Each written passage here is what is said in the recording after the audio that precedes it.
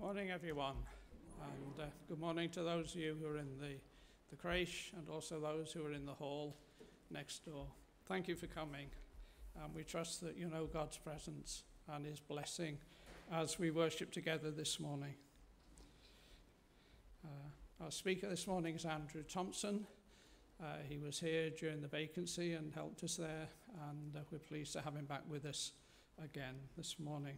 Uh, so we're going to sing our first hymn, which is Come People of the Risen King who delight to bring him praise. Come all and tune your hearts to sing to the morning star of grace. We remain seated uh, as we sing.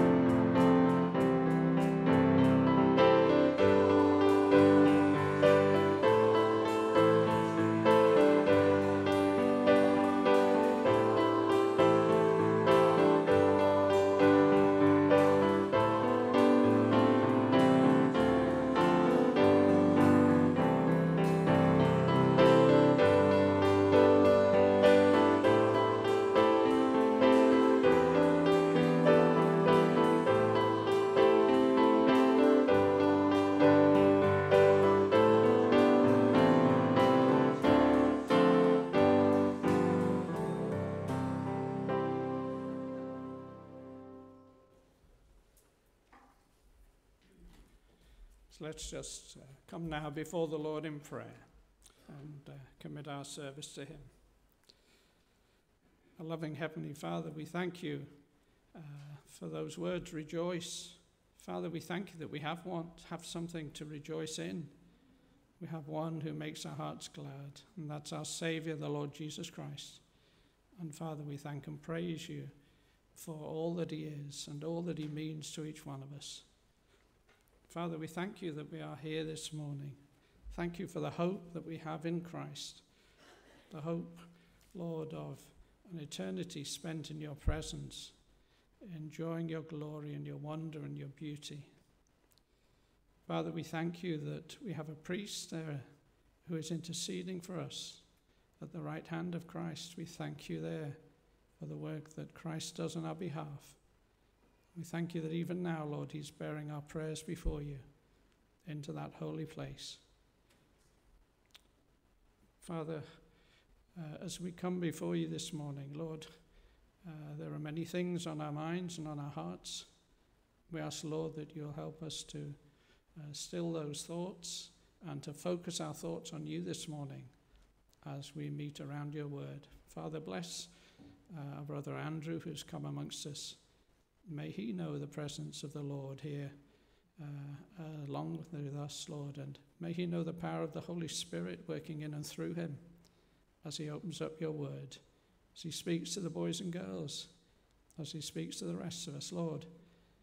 May it be a message from yourself and one, Lord, that will be a blessing to us and help us to be more Christ like in our lives and in our service for you.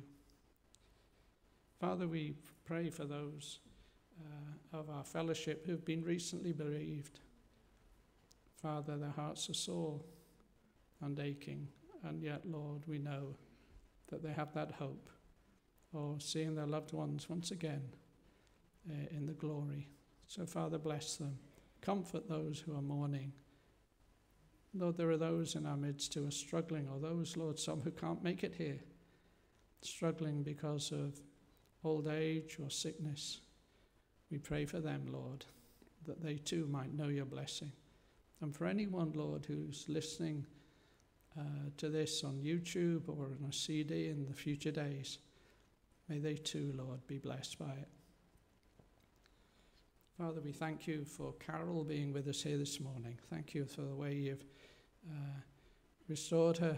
Lord, there's a long way to go, but we thank you that she's able to be here this morning and uh, for answering our prayers concerning that. Father, we thank you for the young children who've been here this morning, uh, many of them already in Sunday school and Bible class. We thank you for each one of those lives. We uh, ask, Lord, that the things that they hear and the things that they learn concerning Christ will cause them to spend their lives seeking to please you and serve you and bring honor to your name. So, Father, again, we just commit our time here this morning. Father, bless the pastor as he has his uh, a break, a chance to rest and recuperate. Lord, wherever he's worshipping, Lord, draw near to him and minister to him as well. So thank you, Father, that we're found here in your house this day. Uh, just continue with us, Lord, and bless us, we ask in Jesus' name. Amen. It's over to you now, Andrew. Thank you for coming. Uh, may you too know God's blessing.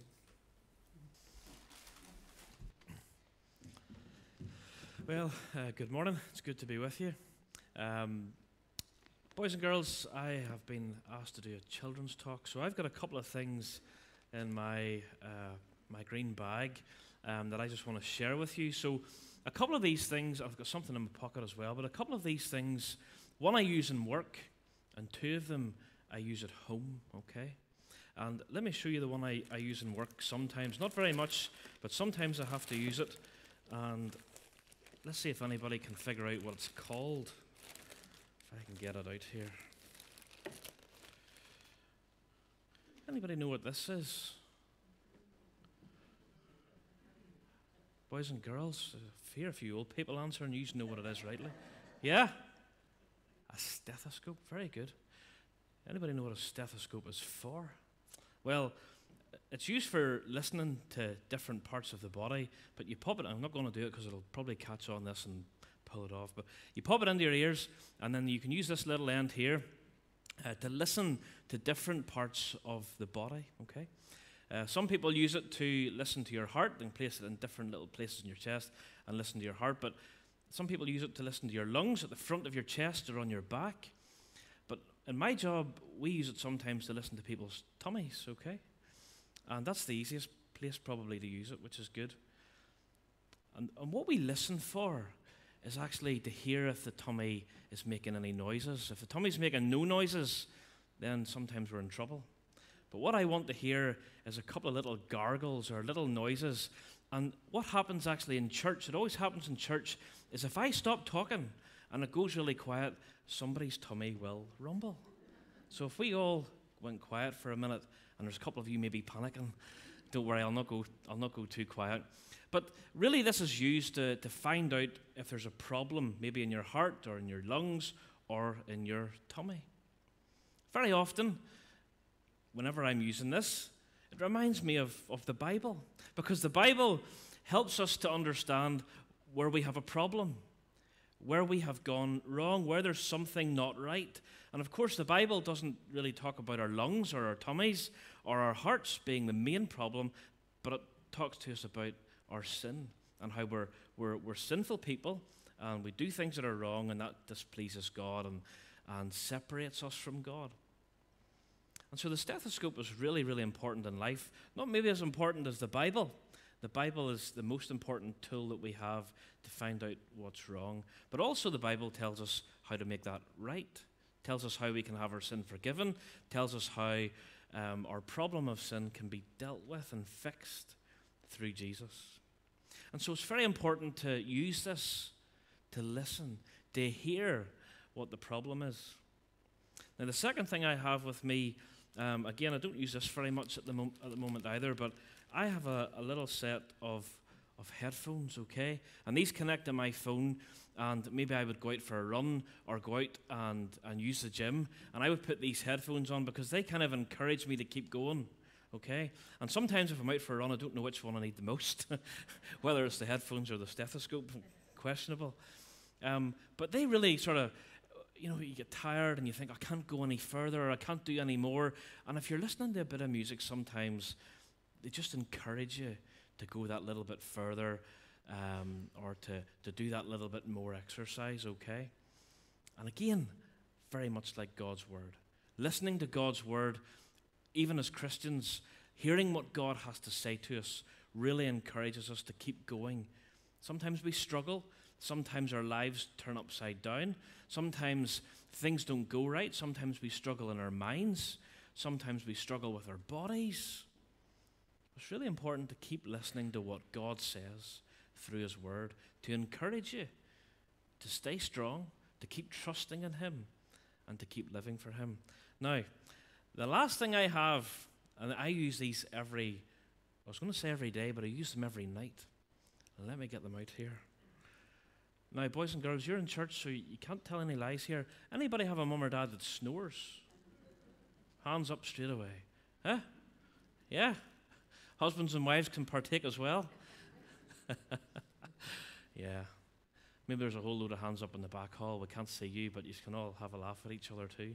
Well, I use these every single night earplugs, and they do the opposite. These things you can hear with, earplugs do the opposite. And you know why I wear earplugs?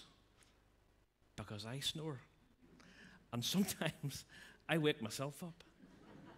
Huh?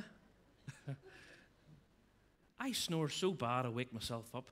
And I really struggle to sleep if I don't have earplugs in. I hear everything. I can hear the fridge buzzing downstairs. I can hear the oil tank. I can hear everything. And so I have to wear earplugs. And whenever I put these in, I can snore away as happy as Larry. I can't hear anything, and I can snore all night. These earplugs do the opposite, don't they? You put them in, it means you can't hear anything. And, boys and girls, that would be the wrong thing to do with God's Word. That would be the wrong thing to do with what God has to say into your life. And yet, we live in a world where maybe in school or maybe at university or wherever you are or with your friends, people might say you don't need to listen to the Bible. You don't need to listen to God's Word. It's old, it's hard to understand. And so, there's no point really listening to it or listening to God. And I want to encourage you, boys and girls, to keep listening to what God has to say. To read His Word, sometimes it's hard to understand, but go somewhere that helps you understand it, like church or Sunday school or a children's club. Maybe you listen to things in the world that are different to what you hear in church. Maybe you hear people talking about that there is no God or that the world just exploded, the universe exploded at the start of time and the world just came into being. That would be a time to put the earplugs in because that's wrong. Maybe you listen to people talk about how you should look. Maybe you're worried about what your hair looks like, or what weight you are, or what your face looks like, or what your teeth look like. And sometimes the world would make us think that those are the most important things. Well, I would encourage you to listen to God's word. Because actually, what God says is what's on the inside is the most important. What's going on in your heart, what's going on in your soul is the most important. And the most important thing is that you listen to what God's word says about you, about your life, about your future, and about your value. So I trust that as we've thought about these things, if you ever see somebody with a stethoscope or with earphones in or with earplugs in, you'll just remember some of the wee simple things that I've shared with you this morning. And you'll remember to listen more to God and His Word, to follow that and to live for that. Now, I think with a children's song we're going to sing. Paul ran away with them. Thank you. Yes, one way God said to get to heaven. So let's sing together, and I think we're sitting to sing again.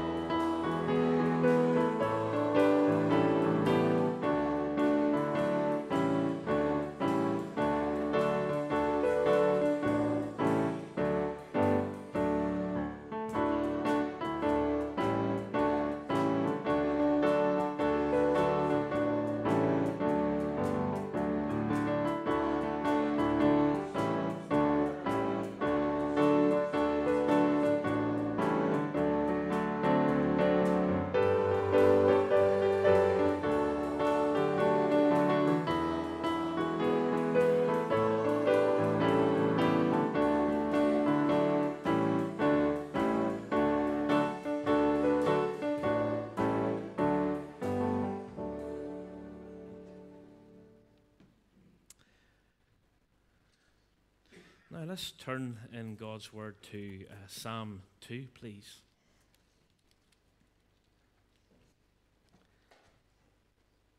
Psalm 2, and we'll just read through the whole Psalm and share a few thoughts just for our time together in, in God's Word. Psalm 2.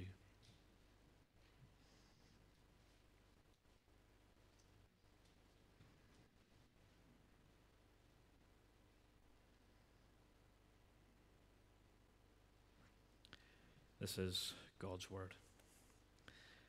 Why do the heathen rage and people imagine a vain thing? The kings of the earth set themselves, and the rulers take counsel together against the Lord and against his anointed, saying, Let us break their bands asunder and cast away their cords from us. He that sitteth in the heavens shall laugh. The Lord shall have them in derision. Then shall he speak unto them in his wrath, and vex them in his sore displeasure. Yet have I set my king upon my holy hill. I will declare the decree. The Lord hath said unto me, Thou art my son, this day have I begotten thee. Ask of me, and I shall give thee the heathen for thine inheritance, and the uttermost parts of the earth for thy possession. Thou shalt break them with a rod of iron, Thou shalt dash them in pieces like a potter's vessel. Be wise now, therefore, O ye kings, be instructed, ye judges of the earth. Serve the Lord with fear and rejoice with trembling. Kiss the Son, lest he be angry and ye perish from the way, when his wrath is kindled but a little. Blessed are all they that put their trust in him. Let me just pray again as we come to read, uh, think through what we've read. Father, we still our hearts. We confess, Father, that our sins are many, but we thank you that your mercy is more. And Father, as we come to your word, we pray for that fresh cleansing of sin, that fresh filling of your spirit, that our souls might be in tune, in line with the Spirit of God, that we might hear what your word says to our hearts. We pray these things in the name of the Lord Jesus. Amen. I don't know if you've ever watched the film 1917, uh, released in the last couple of years. And the film is quite different than, than other films in that it really just tracks two young soldiers in the First World War. And these two young soldiers have a mission to go and warn elsewhere about an impending attack. And so they set off over the bunker and make their way through the barbed wire into enemy territory. And the film constantly focuses on them. There's no other scenes. They're on the screen the whole time. There's no over here and then over there. They're constantly in shot. And the film is quite, quite good because it really draws you in. And we watched it in the living room on the TV with a sound bar. And in the back corner of the living room, we have a Bluetooth speaker that really focuses all the bass sound. And as the film progressed and shells were going off and guns were being fired and these guys were under attack through their mission, I started to get really, really invested in the film. And I became so invested in the film, so drawn into it. As the bombs were going off and my big speaker in the corner of the living room was blasting, I actually had to laugh at myself because I nearly was checking around the walls to make sure they were okay. I got so sucked into the film and so immersed in the film, I felt I was there. And I actually sort of laughed at myself because I thought, here, I'm okay. I'm in my living room. I'm on my sofa. The fire's lit. All is well. The walls are okay. And that's actually kind of the, the theme of Psalm 2. The heathen are raging. The world is on fire. The wickedness of the world is, is so strong, it would almost make you think that the world is going to crumble, that God is not in control, that we are in danger, that God is, is lost in the, in the midst and the noise of a powerful world that has risen up against him. Psalm 1 and 2 are kind of meant to be seen as entry pillars.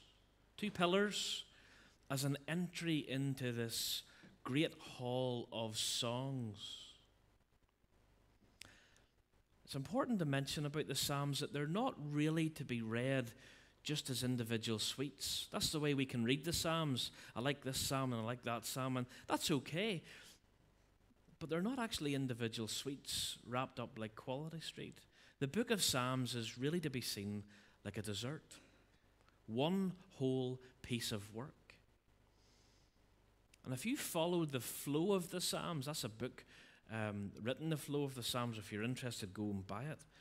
But the flow of the Psalms largely go from lament and sadness, and they finish up really focusing on rejoicing and praise. And that is the gospel, isn't it? We're broken in sadness, we're lost. But when we're saved and when we trust in the, the power of the gospel, when we trust in Christ, we, we go through this life and we end up in praise and worship. And so there's more psalms at the start that are to do with sadness and brokenness, and there are more psalms at the end, largely, that are to do with praise. And so the whole flow of the Psalms, seen it as a, as a dessert, go from brokenness to praise and worship. So, what about these two opening Psalms? How are they the pillars that bring us into the book? What sort of theme do they set for us? Well, if you know Psalm 1, and most people know Psalm 1 pretty well, about the blessed man who lives a perfect life, who doesn't get involved in sin, who delights in the law of the Lord, and then it compares it with the godless man or the ungodly man who is judged for his sin. And really, Psalm 1 is introducing us to the character of the law. But Psalm 2 introduces us to the person of the Son. And again, that is the gospel. We are faced with the law of God, we fail to meet it, we're broken in sin, and we need the Son to come and save us. So, as we focus on Psalm 2, we need to focus on the Son, and that's how the psalm ends. When I was living at home, I remember one Saturday morning having a lie in, and uh, as teenagers do, and uh, I think I got up for my dinners, which is teenagers do. Um, I remember mum coming in to get me up, and uh, she told me this story after because I don't really remember, but she came in to, to sort of call me to come downstairs and do whatever I had to do. And in my sleep, in my kind of semi conscious state, in a quite an angry tone, I, with my eyes closed, holding onto my duvet, I said, Who's in charge here? Not realizing I'd said it, just nodded off again. And it's only when I come downstairs, Mum told me that that's what I said. And that's the question in the book of Psalms. That's the question right through Scripture, but it's really the question in Psalm 2 who's in charge? We're used to people being in charge. We're used to parents being in charge. And then we get free of that, and then we go to work, and then we have a boss who's in charge. And right through life, we're used to people being in charge. And Psalm 2 really asks this question Who is in charge? So I've got four points that I want to share that naturally break up through, the, through this uh, Psalm 2. So from verse 1 to 3, here's what I want to share with you. Don't be surprised. The world has always hated God. Don't be surprised. The world has always hated God. And from verse 1 to 3, you'll see the psalmist asking this question Why do the heathen rage? Why do the ungodly people rage? Why do they lift up their voices and their hatred towards God? Why do they imagine a vain thing? Why do they think so much about living life without God, about dethroning God, about living life on their own.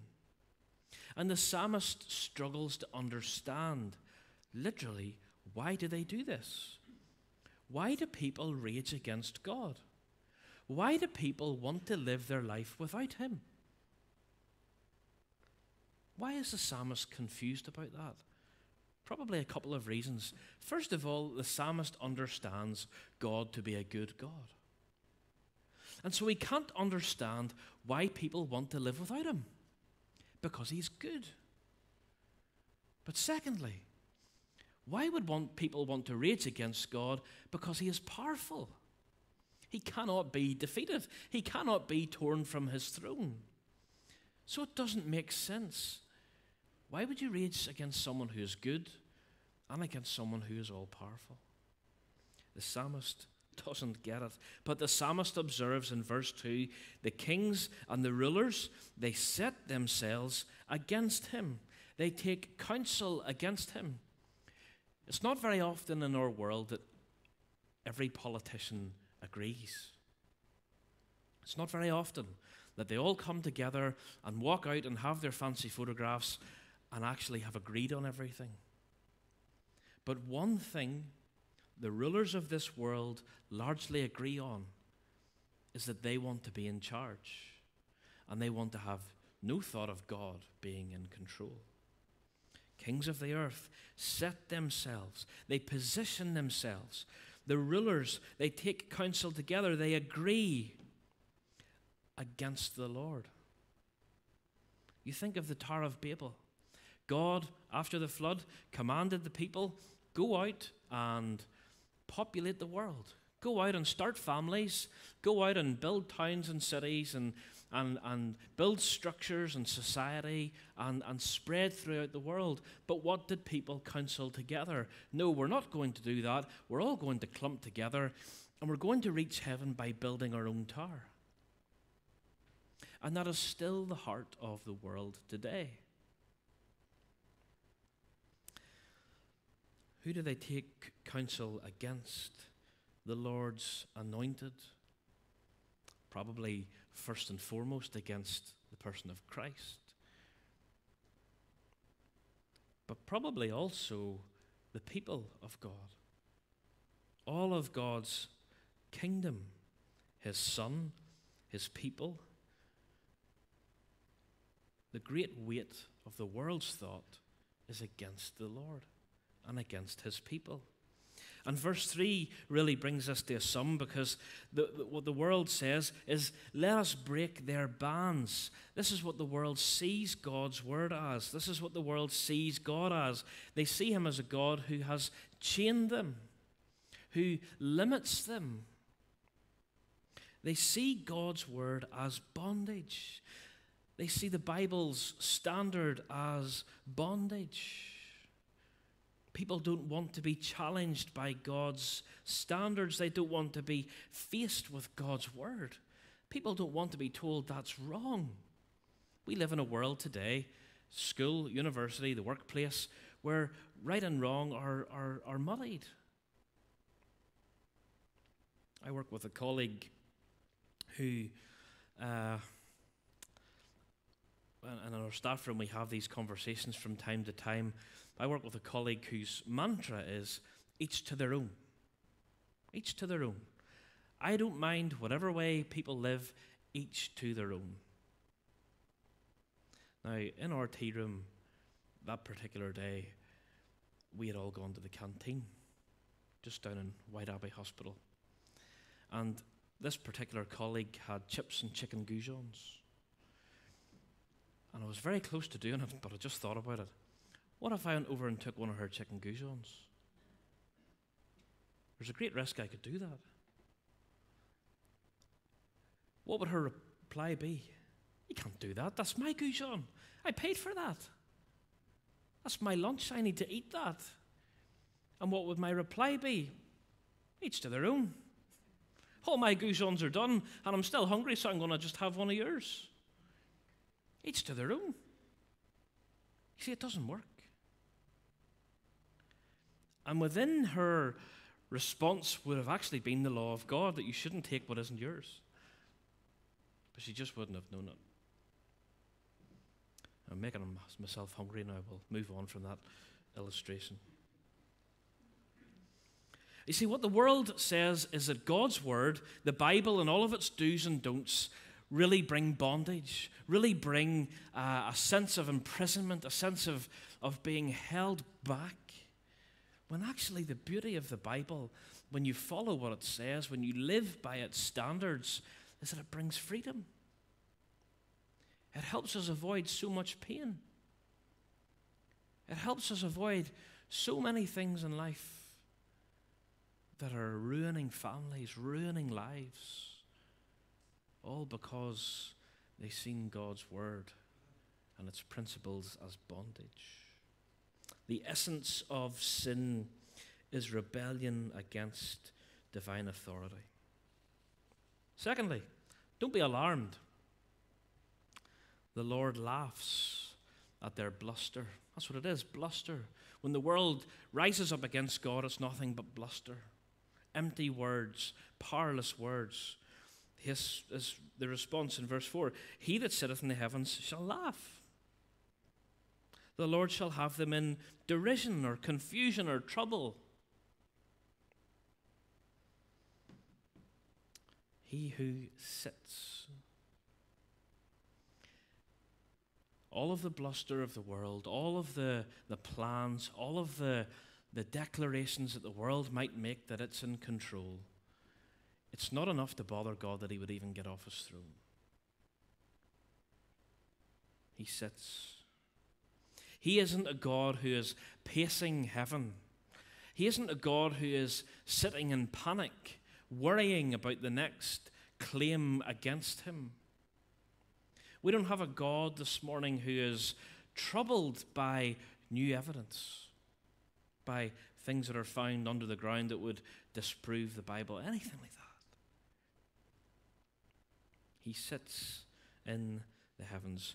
God does not tremble. He does not hide behind a vast celestial rampart, counting the enemy and calculating whether or not he has sufficient force to counter this new challenge to his kingdom. He does not even rise from where he is sitting. He simply laughs. He holds them in derision. That means he frustrates the plans of the world. He can crush every effort to extinguish his glory from the earth. A Roman emperor, Diocletian, made it his primary objective to wipe the name of Christianity and Christ off the face of the earth. And in a bold statement he had inscribed a couple of times, he declared, I have extinguished Christianity. Well, I think we all know this morning Diocletian is dead and gone. A footnote on the pages of history. And yet the fame and glory of Jesus Christ continues to spread across the face of the earth. People today love him, worship him, and adore him. Diocletian is just in textbooks. And yet, the Lord, although He laughs in verse 5, He doesn't laugh passively or inactively. The Lord works amongst those who would be against Him. The Lord works amongst those who would seek to topple His kingdom, to, to dethrone Him, to remove His glory from the earth. He speaks to them in wrath. He vexes or troubles them in his sore displeasure. And despite all the plans, all the resources, all the coming together that the earth might have against God, here's what he says in verse 6 I have set my king upon my holy hill. What does this word set? I have established. He's talking about his covenant kingdom. The fact that he is a covenant keeping God, that what he says cannot be undone, cannot be unfurled, cannot be taken by surprise. When God sets something, it's set, rock solid, immovable, impenetrable. That is the kingdom of God. So don't be alarmed. The Lord laughs at their bluster verse 7 to 9. Don't be afraid. Jesus rules and reigns. In verse 6, we get this introduction to the king, but then he speaks to the king. This is God speaking to the Son. I will declare the decree. The Lord hath said unto me, This is the Father speaking to the Son, Thou art my Son, this day have I, have I begotten thee. Ask of me, and I shall give thee the heathen for thine inheritance, and the uttermost parts of the earth for thy possession. And thou shalt break them with a rod of iron, thou shalt dash them in pieces like a potter's vessel. This is the introduction to the kingdom. This is a sort of kingdom that Jesus rules and reigns. This is why we're not to be afraid. He has a more excellent name than all the kings of the earth, than even the angels. And this is a, a glimpse into the kingdom that Jesus rules and reigns. He has a solid covenant kingship. He has a kingship that goes to the uttermost parts of the earth. His kingdom is worldwide. He rules and reigns in the hearts of his people, and his people live for him in all parts of the earth. And this is a call for God's people in the midst of all of the turmoil, in the midst of the heathen raging, not to be afraid, but a reminder that Jesus rules and reigns over and above all that the world would seem bluster. So, how do we respond to this? Maybe you're here as one of God's people, but maybe you're here and you're not a Christian. Maybe you're here, you're not saved, you have no walk with God. You, you maybe go to church, you maybe know the songs, but you've no personal, living, active relationship with Jesus. Well, these verses are largely for you because actually, you're not under his kingship, you're not under his rule, you're not under his care or his saving power. You're still under the wicked kingdom of this world, lost. And so, verse 10 to 12 goes out to all kings and, and, judges and rulers of the world, but it goes out to all people of the world still not in the kingdom of God. Finally, don't be foolish. Trust Jesus. This is the call in verse 10 Be wise now, therefore, kings, be instructed judges of the earth. Come and serve the Lord with fear, with trembling. Kiss the Son. There's the call to go from scheming against the Lord, living for self, to a complete change to serving under the Lord and living for Him.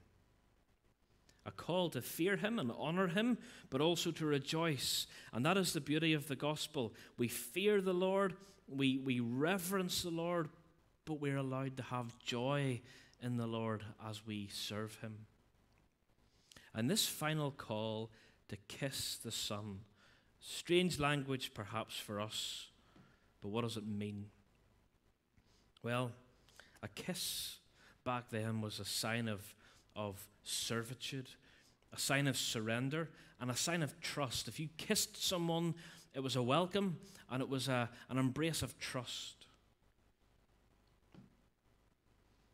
And so, we are called, all people of the earth, to kiss the Son, to come to Jesus amidst the rage and anger of the world, there is still a welcome and still a promise of blessing to come and to kiss the Son, to come and seek Jesus, to come and trust Jesus, to come from the kingdom of darkness that this world would rule over, and to step out of that away from sin and to step under the kingdom of Jesus Christ, the kingdom of light kingdom that sets people free. What a pillar. What an entrance into the book of Psalms. And maybe you favorite Psalms that you can relate to and you think about and you go to. And what an entrance these two Psalms are. Showing us our failure and our brokenness in Psalm 1, and then showing us the Son in Psalm 2. The welcome in a broken world, in a sinful world, maybe you have a broken life, but to come to the Son, to go to Him in trust, to kiss Him, to bow to Him, to serve Him, to love Him. So, don't be surprised. The world has always hated God. Don't be alarmed because the Lord laughs at their bluster. Don't be afraid because Jesus rules and reigns. And finally, don't be foolish. Trust Jesus. May God's word be a blessing to our hearts this morning. We're going to close. Uh, we'll sing and then I'll pray. And our final song together is Oh, for a Closer Walk with God.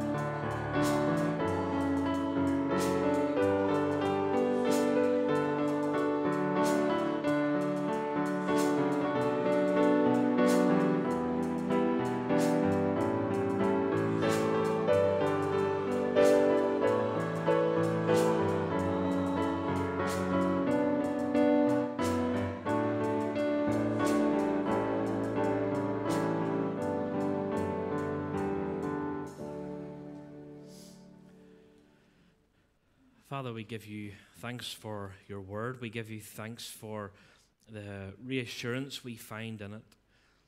That, Lord, when the world seems to be on fire, you're quietly in control. That, Father, when things seem to be crumbling around us, whether on a worldwide scene, Father, but maybe even for some people this morning, their own personal lives seem to be crumbling around them. Their own circumstances, Father, are, are painful, are bringing in thoughts of fear, of worry, of doubt, of all of those, those feelings. Father, we thank you that you're still on the throne. You're, you're a sovereign God. You're in control. Nothing takes you by surprise. And that, Father, all who trust in you, their end is secure. And so, Father, help us to leave this morning encouraged, Lord, that despite all of the noise that we hear, despite all of the, the worries, the fears, the doubts that we might have, despite, Father, governments maybe raising their voices against you, that, Father, it's bluster to you, it is nothing to you. And that, Father, in a moment, you can crush any kingdom in this world. But, Father, your kingdom will go on forever. So, Father, help us as your people, Lord, weak, struggling at times, Lord, to go on living for that kingdom, to seek its building, to seek its, its, its growth throughout this world. We pray these things in the precious and worthy and lovely name of the Lord Jesus. Amen.